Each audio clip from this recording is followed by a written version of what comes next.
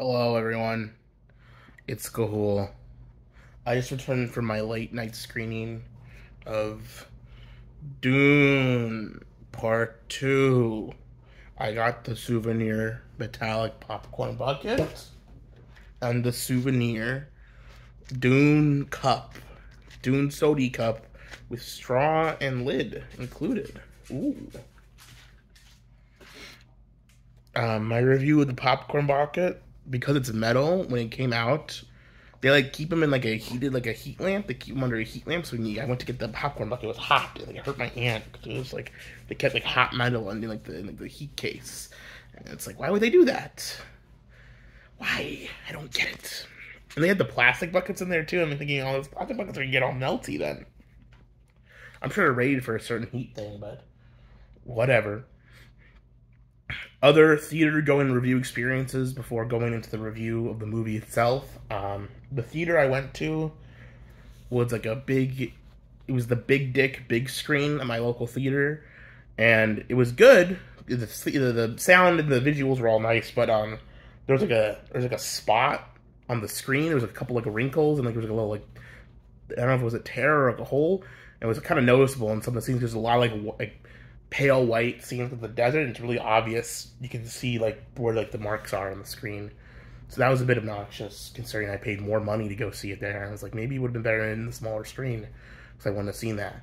But let's talk about Dune Part Two, because it's probably the mo- movie I was looking forward to most last year. Um, and I guess by proxy, this year I don't even know what else is coming out this year. I think there's a I, I, suppose preview for this year first. I think like movies that would be good this year. It's this, the Godzilla X Kong. There's that Adam Sandler movie where he's in space and he befriends like a space spider. That movie looks fucking good. That movie looks fucking sweet. You can't deny that Spaceman movie with Adam Sandler. The trailers for it look good and they look like really interesting, and like the concept's super unique and fun. Um, and Adam Sandler seems to be doing a pretty good performance and it's it's just so I know like a guy trapped in space isn't that unique, but like him meeting a space spider, it's just a giant spider who talks to him. Interesting concept for a movie. Excited for that. Um, I don't know anything else that's coming out this year that looks like good though. So this is like this is like the movie. Dune Part Two was the movie for this year. It was the one, you know, and uh, I'm gonna give you my general review of it. It is somewhat disappointing, but understandable that they're this movie also ends on a cliffhanger, I'll say that, because it leads into Dune Messiah, which I believe is what happens in the book as well. Um, but it really ends on a cliffhanger, this one. Like, there's like not a lot of, there's a lot of like open endings, there's like not, like, there's a lot of character resolutions left unfulfilled. Um, so I hope that the filming with Dune Messiah goes well and they actually make Dune Messiah. Because if they don't, this will fucking feel really embarrassing. Um, to end it like this. I guess it's just the nature of adapting this book, though, because Dune is a Dune Messiah was originally, I think, intended to be part of Dune, but from whatever publishing reasons, he just they decided to publish it separately. And Dune Messiah is much shorter. It's like a almost like a little, you know, if you look at the book, it's it's supposed to like go with. It's supposed to be like the third. It's the third act of Dune, right? It's like the third. It's part three of Dune. Um, and then Children of Dune, all the rest are actual sequels that are new stories. But um, a review of Dune Part Two. Uh, I've heard complaints about the choices for the actors. Um, I think across the board, they're pretty okay. I think they, the choices they made were mostly okay in terms of who they chose to be the actors. Um, there's a couple people who I didn't know were in this, gonna be in this movie that were kind of surprising. One was Léa Seydoux, um, she's that girl who's in Death Stranding, I guess. I don't really know her much else, but um, she was quite good in this movie. She was good. Uh, I think that was the only one. I, I, I was surprised she was in this. Um, there are complaints online that a couple of the more dramatic, important lines from the book were cut. Specifically, the one about uh, Paul telling the the Bene Gesserit mother to like look into the darkness of herself and you will find him. Uh, that was not in the movie. So there are some things that were changed, but I think overall, this was a very good movie. It was well adapted. I was I was disappointed when he first. One of the best scenes of the original David Lynch Dune is when uh, Paul first, you know, when he first rides the big sandworm. And I think that scene still is better in the original. I don't think I think the music, I think the soundtrack in general is better in the original David Lynch movie. Uh, there's a lot of things that are you could do an interesting comparison because the David Lynch movie is not a good movie. David Lynch admits it's not a good movie. It's not a good movie because it is poorly written and edited and like paced. It is just it is trying to condense the. This is this book is big enough that even they are blitzing through scenes in this movie. It is so fast paced. and It is not dwelling.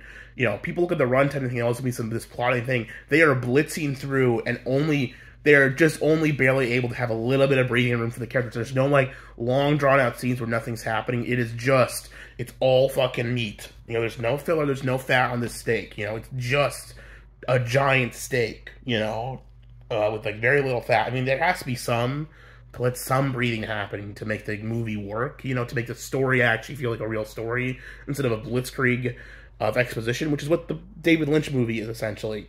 It's a blitzkrieg of exposition and then like weird esoteric scenes where stuff happens and you still don't understand what's happening in the story. This movie, you do get what's happening in the story. And I mean the interest I mean the whole conflict of the prophecy and him seeing um not wanting to fulfill the prophecy, which again, it's not really a prophecy. Him being the Messiah, it's not like he's like a real like religious prophecy. It is a calculated, created, mathematically designed event that is uh, that has transpired to Caribbean been happened, right? Which is a difference. There's a big difference between um, that. I think uh, before I watched this movie, I watched a bit of Doug Walker's review, and he was complaining a little bit about you know he was talking about how this is like the traditional oh chosen one storyline. Oh you know it's it's you, you start watching it's this typical chosen one storyline. And nowhere in this movie is a typical chosen one storyline okay? He is a messiah but he like the whole point of the fucking story the whole like underlying like through the main plot there's the political there's the world building the dial and like the political back and forth and like the you know the the science of the world and the spice and all this. But the main storyline is not a chosen one storyline. It is a these psychic women the Bene Gesserit have created the idea of a chosen one and these people and are like have like civilizationally engineered this situation to come about to further create their process of creating this grand vision they have for the future it's like it's not a chosen one. They have it's an engineered situation, and it's Paul struggling with having to decide should I fall this situation that's been engineered perfectly for me to arise. But if I do this, how will it? It could destroy. I, it's Paul finding his way in a world that was engineered to kind of like try and control him, and him asserting control over it. You know, and becoming the Haderach, which I, I don't know how Doug gets it. I guess he just like hears the word chosen one and think it's oh, it's the chosen one storyline. But it's not. It, it's literally it is the subversion of that. It is like the opposite of that. It is not this man, oh, he will fulfill the prophecy and save our people. No, no. They think he is that because these people told him that that is who he is. And he doesn't want to know, isn't sure if he should actually go through with it and film because he can. If he wants to, he can decide to do it at any time. But he rejects that idea because he's afraid of the consequences of it. And he's afraid of the death which will ensue, which I believe it will ensue. Which will it will happen based on the books. Um, I just don't understand how Doug didn't get that because it's pretty fucking clearly explained out in the movie. And that's the thing. This movie is easy to understand. You know what's happening in this very complex story that a lot of people. It's a very esoteric Dune it's a very esoteric, weird fucking story about guys turning into giant space worms to fulfill their prophecies of the future, you know, and this movie makes gets you that story and delivers it to you in a way that's easy to understand. And it does it in a beautiful, I mean, the visuals are amazing. Um, the soundtrack is not, the thing is, the visuals are amazing and breathtaking, and they're very visually distinct, and it's very clearly this guy's vision of how he thinks Dune should look. I still prefer the vision visually of the David Lynch film, and even you look at some of Jodorowsky's Dune's concept sketches with uh, H.R. Giger did. I think both of those are more interesting Dune visions visually. So this is probably the least interesting vision of Dune visually, but it's the best realized visual vision, right? Although I will say the soundtrack, um, it, it did get a little bit grating for me in this movie because it's very, it's all the songs are pretty similar. It's like hey, hey, and it's like these like fucking low droning, uh, you know, what's his face? Christopher Nolan uses them all the time. Um, Christopher Nolan didn't use them in his latest movie, by the way, which I think helped. It's uh, Hans Zimmer. Hans Zimmer. It, it, sounds like a Hans Zimmer soundtrack. I'm not even sure if it, it might actually have been Hans Zimmer. Uh, correct me in the comments if I'm wrong, but you know, Christopher Nolan. It, it, sounds like a Hans Zimmer soundtrack, and it's like I'm very sick of the Hans Zimmer soundtrack. I know it's been like the modern. It's been like the, the sound, the sonic design of modern Hollywood for the last like decade and a half. It feels like and I think I'm done with it. I'm ready for regular orchestral songs to be back. I'm ready for new des- sound designs. Um, I suppose it kind of matches. The thing is, I don't even think it matches the visual style of this movie. The visual style is so very dry and 70s looking, and I would have preferred if it there was different songs to go with it. I think when Paul first rides the sandworm, it should be like the, the, the guitar riff that happens in the original Dune movie. There's no moment in either this movie or the first part that is as good as the moment when Paul you know, he's caught the big one, and then it's a doo, doo, the fucking like huge orchestra, like the fucking good electric guitar riff, and like the fucking lightning in the sky, and the you can see the full sandworm puppet, and it looks awesome. And there's no moment as good as that in this movie. And the reason I bring that up is that when he first catches and rides the grand worm, you don't see it. You don't see the worm. You don't see the fucking front of the worm. You just see him moving through the sand, which is a really interesting choice. Um, it's very intense and very like gritty. Um, but I was really disappointed because it's like I want the payoff of seeing the worm. Like you can see, like you see him struggling and he's doing it. Um, I want to see the big payoff where like you see the worm and it's cool, and it's awesome, and you don't. Like you see the side worm, you see a bit of like him destroying the dudes, but you don't see the worm head on. It's all blurry and it's like you can't see it. But and for most of the movie, you actually don't see the worms head on, which is weird because you could see the worm in the last movie. But there's they save it for the big payoff in the final battle. The final battle, they the um, Emperor's uh, oh God, I forget the name of them, but the Emperor's swords guys who were like his guard, they're on the fucking planet, and he like fucking blows up this mountain with these nukes, and then boom, the the worms come out, and you finally see the worms there fucking leading this final attack, and it is a sweet moment. That's a really awesome moment, and it's probably the best moment in the whole film. And visually and you know emotionally, it's it's a real climax. It's kind of amazing, um, and I mean. The main thing, though, is that you get the story. The story is there, and the underlying story is so good you kind of it, and it comes across in a way that's very good. This movie is carried by a couple of actors. Um, Benicio del Toro is amazing in this. I think he is his he's really stand out as one. He's a great choice. I wish the other Fremen were as good I don't like Zendaya. I didn't hate Zendaya as much as I thought I would have.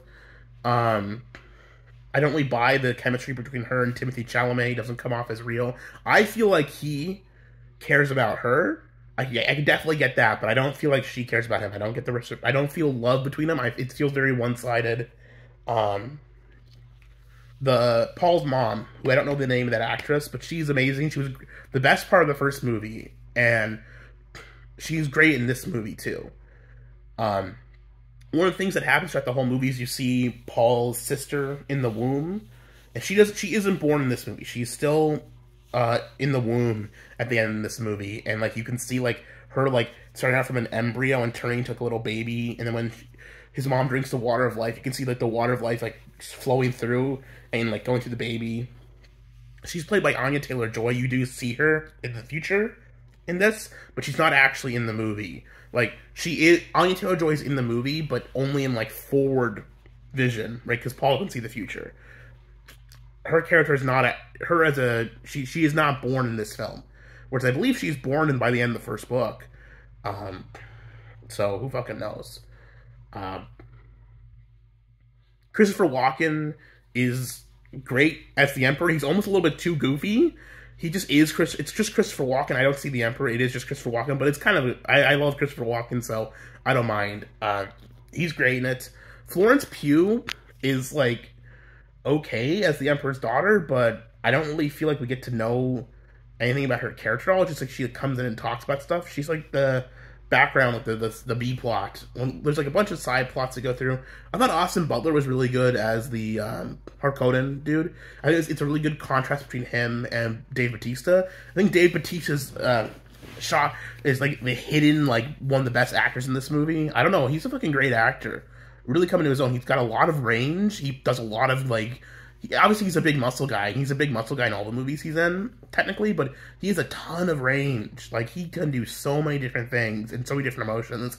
And he he comes off so cowardly in this movie, right? He is a coward and he dies. He does die an honorable death though, honestly, which is kind of interesting. He dies in, in combat, but um, it's I think if you know the story of the books, which I've read most a good chunk of the first Dune book. I'm I have I struggle with reading, man. I'm I'm not good at reading. I, I've really struggled the last God, it's been I'm 27 now. I think it's been almost 10 years since I fully like read a book. It was it's before high school. It was during high school. No, because I graduated when I was 17. Shit, it's been 10 years. Well, yeah, in, in like in the summer of this year, I think that was I think in school was the last time I read a book fully cover to cover. Um, and at the end of high school, and I haven't read a full book since then. Um, so, but I want to finish Dune. That's gonna be my first book back, and I'm gonna start reading again. Um, I'm not gonna do audiobooks. I feel like audiobooks is cheating. Although I heard it's a really good Dune audiobook.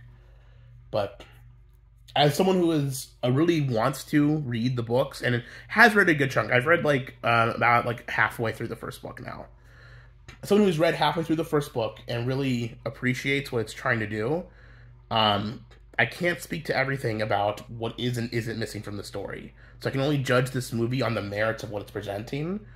And I do get the faint grasp. You get that thing when you watch any book adaptation that you're watching like a hollow version of a better story.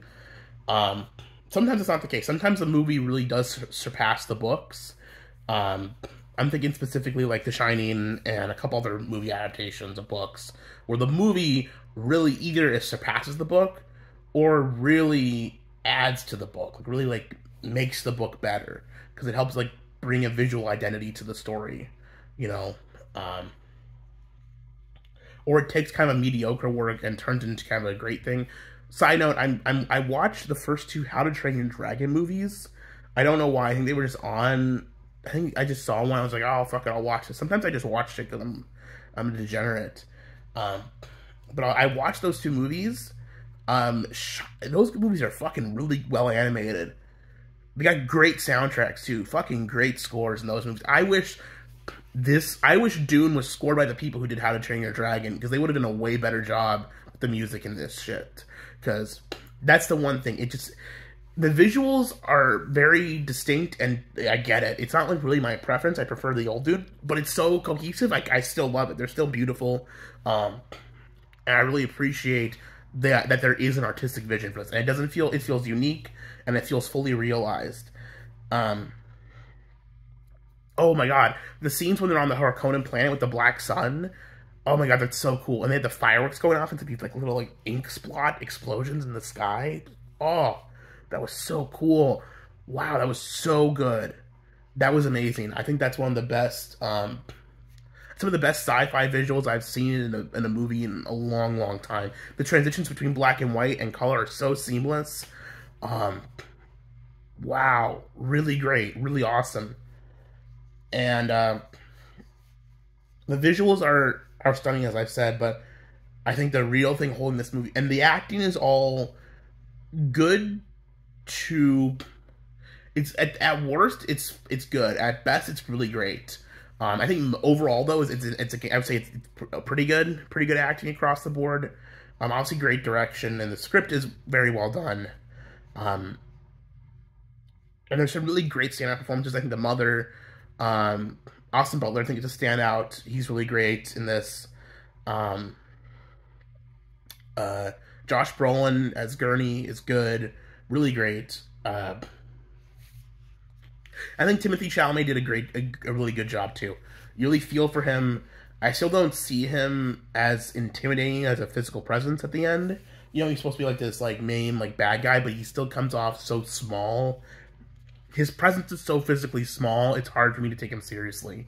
You know, like I I don't I, like it worked well when he was the child, but now he should be an adult. You know, that's a good thing. It's not even been nine months since this all happened. He didn't grow up. He's not an adult. That's really weird. He should be a. a I guess that's maybe that must be why. I guess, but like, you know, this all took place within the span of a pregnancy. You know, the pregnancy hasn't even ended, right? And all this is happening. And I think originally in the book, it's like a multi-year long war effort, right? And I think uh, that's really interesting that I just realized that. That that's kind of stupid. That's really fucking. That was a stupid decision. I think. You know, I mean, I get it, but like, because they want to like save the birth for the next movie, but I don't know, man. They should have aged Paul up a little bit, made him get older. um, but you know, that's I was that's, I think that's a big negative actually. Now that I've just thought that out, I think that that was a change that was overall for the worse, and it was a big negative, and I wouldn't have done it myself. Um, so that was a neg. I think that's overall not great. I think, uh, but the biggest con of this movie, the the soundtrack, it's not there. The soundtrack is just not there, and it's something that's a problem with all modern movies. It's not just this movie. Um, movie sound there hasn't been a great iconic movie soundtrack in a long time. I can't think of the last time a movie.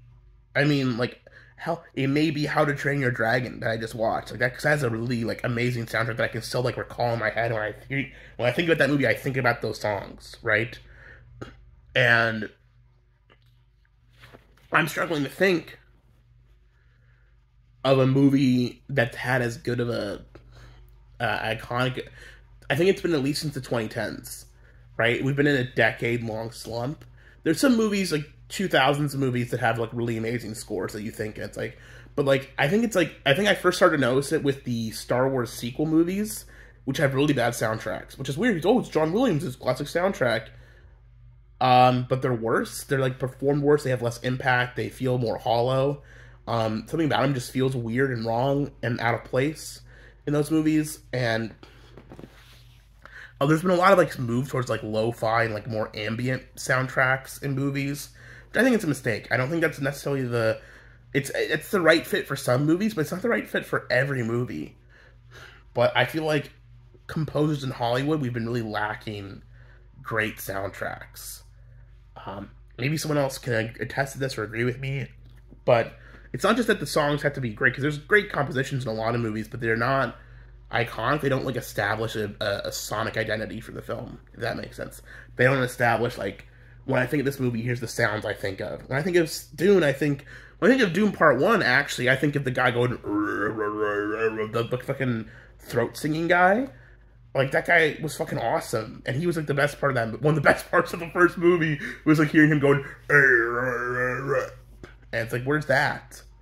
And so we just get these weird like tribal chantings and stuff. And I, I guess that's kind of the identity of this movie, but it was less so. And I I think story wise, I think I said this already, but the plot, the pacing was very fast.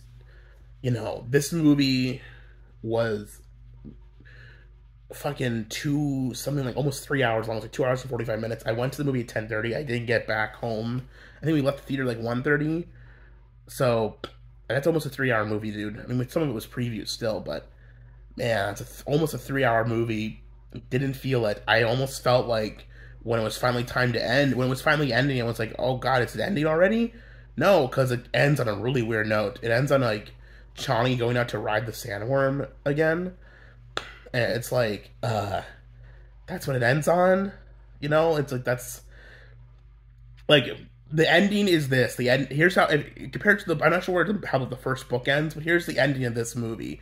The movie ends with Paul uh, defeats uh, Austin Butler's uh, character, who's Duke something Harkonnen. He's like the all Duke. He's like the the heir, the, the next Duke. He's like it's, it's the, the next to the line Duke of, of Harkonnen or Baron, not Duke uh, the next to the line baron, the other, the sec, the youngest Harkonnen, and he defeats him in combat, and then he like gets, he's like like taken the emperor's daughter as his wife and made the emperor bend the knee and kiss the ring, right?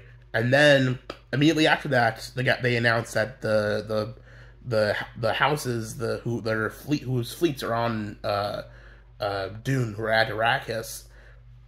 He's they say, well, we don't honor, we don't recognize you as we don't recognize you as the next emperor. So then they all have to go up in their ships and go to war with the fleet, and then the movie just ends, and then we see, Char- and then Chani's mad because he's marrying the emperor's daughter, and then she goes and calls a sandworm, and that's it. That's how the movie ends, and it's like with a close up on her face, and it's like, uh, that's it. That's like that's the ending. The ending was kind of weak. I don't know. I don't. I didn't like the ending. I thought the actual ending shot was. It, it focused. The thing is, Chani, I guess, is an important character, but she's not as important as Paul. The, the focus is on Paul. He's the main character. It should have ended on him. I think ending on her was a big mistake and uh, kind of a fuck up. But whatever. You gotta get the. You gotta sell those popcorn buckets. You gotta ride the beast.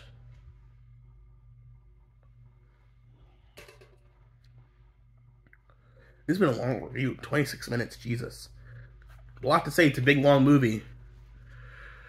Sorry, this has been kind of rambling, but um, I think it's a.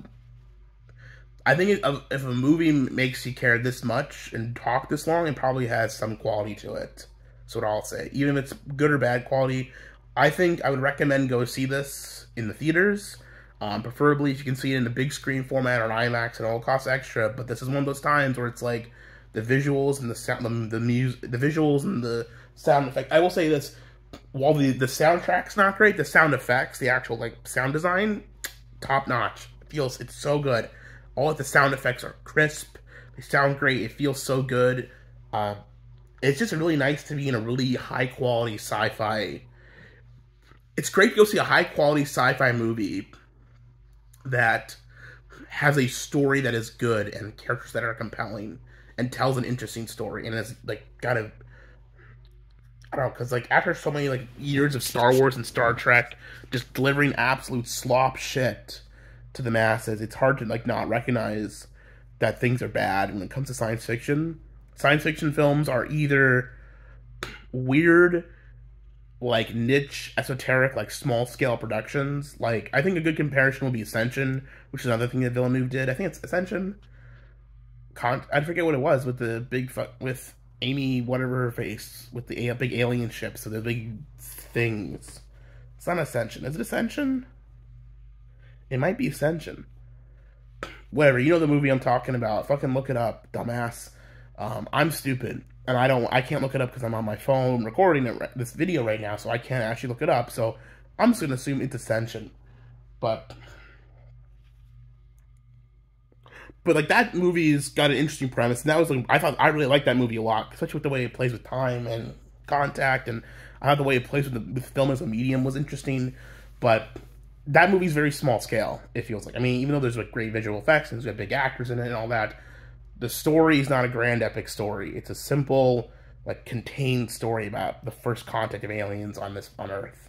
It's very simple. It's to the point.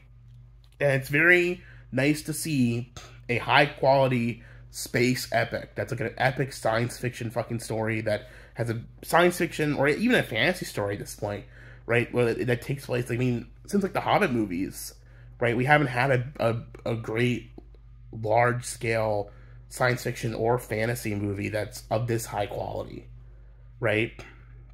Even before Hobbit movies, I mean, like, like, like since like, because this used to be something that you could go see, the go to a movie and see something this cool, right? But movies haven't been like this. They've even been either been super low budget, small indie flicks, or small scale like double A, you know, basic movies that aren't they don't have the scope and the budget to do something cool, right? They're either that or they're dumb. They're big and dumb. they're either small and smart or they're big and dumb. And it's nice to see a large scale smart movie because I mean the amount of actors and visual effects and sk- and stories going on in the great grand epic scale of like this like battle for control of the Imperium of the future. You know, that's such a crazy that's an epic scale story, right? It's not a small story, it's a large scale epic story that still has great characters, smart dialogue, smart writing, um, good act, good quality act. Even the bad actors in this movie act well. Does that make sense? Because like fucking Zendaya is in this movie, Austin Butler's in this movie. There's tons of people in this movie who should suck because they're bad actors, but they're being directed by a great director, so their performances they don't bother me because they're being directed in a way that's good. You know, they're they've they've been given the crutch. And yeah, it, it, frankly, one of the things it is it is distracting that like almost all the main actors are like just the flavor of the year actors. It's like Florence Pugh is in this, uh, Anya Taylor Joy is in this. It's all like the like the currently popular actors, like the current crop of Hollywood's like groupies, and that's kind of cringe and lame, but their performances are all great for the most part. Um, at worst they're good, and they're it, that's I think that's down to the direction more than anything. But it is refreshing and nice to see a movie that feels like a real movie, telling a real great story that's science fiction. Because like you can see great movies that are you know set in like just like regular like you know crime thrillers or whatever, but it's hard to get a really good science fiction movie out because Disney or you know, stupid people, fucking stupid people run movie industries, right? It's hard to get a smart movie made. Even like Blade Runner 2049, um, people love, a lot of people like that movie, and there are parts of that movie that I like, but that movie has the stupidest fucking script of all time. It's so schizophrenically edited and scripted. It's a movie that's been chopped up and destroyed by studio. I want a director's cut of that movie that like fixes it because as it is, it's a fucking that movie just got fucking ass raped by the studio. I'm not sure who it was, but some editor, whoever edited it, whoever put the sequences in order, right? It's a movie that has like some incredible themes and like moments, but it's also bogged down in like the stupidity that made like the Star Wars sequels bad. And I'm not wrong about that. Like the shoehorning of Harrison Ford into it, um, the like overall narrative of it is incoherent and stupid uh, fucking dumb actors being in who don't deserve to be in there. But you know, I mean, the the the crux of like you know the android with his AI girlfriend. that's such an iconic fucking great story that it overrides it, it, it, rises above the rest of that trash heap of a movie but hey that's okay but like that's like the last like great that's been like the last big sci-fi movie and it wasn't that good and this is way better the Dune movies are way better than Blade Runner 2049. Way fucking better. Because they actually have a good fucking story. you know?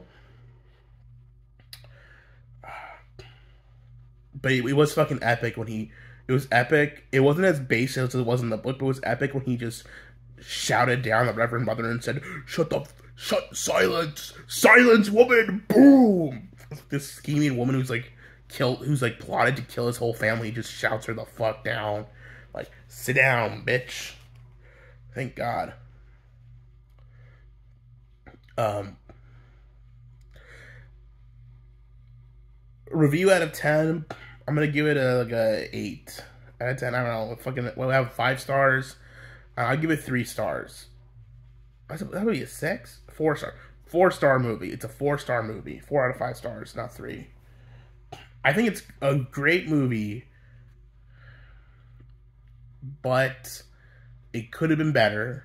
And I thought the ending was a little disappointing. And I guess we'll see. I'll give it to Dune Messiah. I'll give it one more. I really enjoyed my time with it. I don't know if I enjoyed it as much as I enjoyed part one, which is weird because there's more action, there's more bombastic moments, and the story is more climactic in this one. But I don't think I liked it as much because I like what was most fun about these movies is learning about the world, like learning about the lore and learning about the setting is to me the most fun part, and it kind of unraveling the narrative right? That's the most fun part of the of these movie of of the story for me.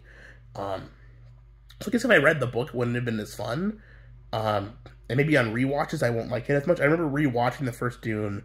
I rewatched it on my computer monitor, which sucked. I, am never gonna watch these movies on a computer monitor. It just sucked. It's I think I watched like streaming on like my PC or something, and I think that was a terrible way to watch it over my web browser. That was a terrible way to fucking watch it. I'm gonna watch it on my I'll watch on my big TV on a Blu-ray or like a fucking 4K stream maybe, but never, never again over fucking like basic fucking streaming stuff. I'm not gonna do that. Um, I uh, I think that this is a uh, it's a high quality movie made by a very high quality director. Villeneuve is a, is a one of the best working directors in Hollywood today. He's a great director. Um, made some of my favorite movies of the of the 20, 2000s and 2010s. Um, and I look forward to Dune Messiah because they're doing Dune Messiah. I heard, which makes sense because the ending of this movie is also a fucking cliffhanger. It's a bit disappointing. This also ends on a cliffhanger. I wonder if they'll call it Dune Messiah or if they'll call it Dune Part Three. We'll see. Hopefully, they just call it Dune Messiah, but uh, they could be. They could call it Dune Part Three, dude. I'm not joking. They may do it that way. The, he said he's no plans to do Children of Dune or God Emperor of Dune or whatever. That's a huge mistake. We definitely need people in Hollywood to sit down and approve the script for God Emperor of Dune because that would be so funny. It'd be so fucking funny to see what happens to God Emperor of Dune to make like like because like my mom was asking me if I should if she should go see this movie and she's like, well, it's so long. I'm like, well, if you don't if it's too long for you, don't go fucking see it, you know. And she's not a big sci-fi person, anyways. Like, but she like wants to go see good movies. She's thing is, my parents like going out to see movies, and they've been so deprived these last man. You don't know how bad it is. It's like they're like coming to me like Patrick, please give us something good to watch. And I'm like, I know what they like, and I don't think they like Dune because they don't like long sci-fi movies. I I love sci-fi stuff. I mean, they just have different tastes than me, but but like they're considering going to see Dune, which is a movie they they know they probably won't like, but they know it's a good they know it's a good quality movie, and they're that desperate because it's like, man, there's nothing. These there used to be so many quality like mid-budget little films that would come out that would make uh, good money, not amazing, but like you know like smaller like rom-coms or like fun like not even rom-coms but like just like basic comedies or slice of lifestyle movies or you know cool dramas or like thrillers you know that were produced kind of that like had like a couple quality actors but were just like good movies. You go to the theater and see oh that seems like a good movie good movie. We'll go watch that that's gone you're either getting the big spectacle or the cheap shit. That's all that's left in Hollywood. And you know what? Sometimes I don't want either of those. I usually don't ever want to watch cheap shit movies. Right? I mean, I'll watch an occasional horror movie, but I, I really don't like cheap, shitty horror movies. I'm not a big. I know everyone online who's a film critic has to like love. Oh man, I love low budget, like so bad it's good horror movies. I don't. I don't like so bad it's good horror movies, dude. I don't fucking like that. I like good movies. I like movies that entertain me and make me happy. Not some cheap shit that like, oh, but it's got the cool gore and oh, it's so weird. Ah, it's like Halloween. Ah, I don't care. I don't like Halloween. I don't like the Halloween movies. I think the first Halloween movie, I think the best Halloween movie is Halloween 3, and the second best is the Rob Zombie Halloween. And all the other Halloween movies are shit. They're not good. They're fucking bad. I watched them all. I watched them all. They're all fucking shit. Rob Zombie want the, the Halloween season of the witch is a good movie. The Halloween, the Rob Zombie Halloween isn't even a good movie, but it's better than any of the fucking other ones. That first John Carpenter Halloween movie, I guess it's for its time, whatever. Fuck you. I think I think fucking Black Christmas came out before that. Black Christmas is so much better than the first Halloween movie. Okay. All these fucking they're just dog shit trash, man. I I want to do a rant. I have to save that rant for another day. The Halloween film franchise rant is coming. Um, also, I gotta watch How to Train Your Dragon 3, and then I'll do a How to Train Your Dragon series review. Um, because I actually, I, I have some stuff to say about that. But leave a comment down below what movie you want me to review next, and I'll review it. Um, because I got nothing else to do. Because I'm done being late internet weirdo who gets involved in drama. I only do movie reviews now. There's no more internet drama. no more internet drama for me. I just do movie reviews. I just do angry movie reviews and I scream into my camera. And sometimes it's funny, most of the time it's boring. And I've been going on for a long time now. But I have a lot to say. And now it's time for me to go to sleep. Good night, tubes.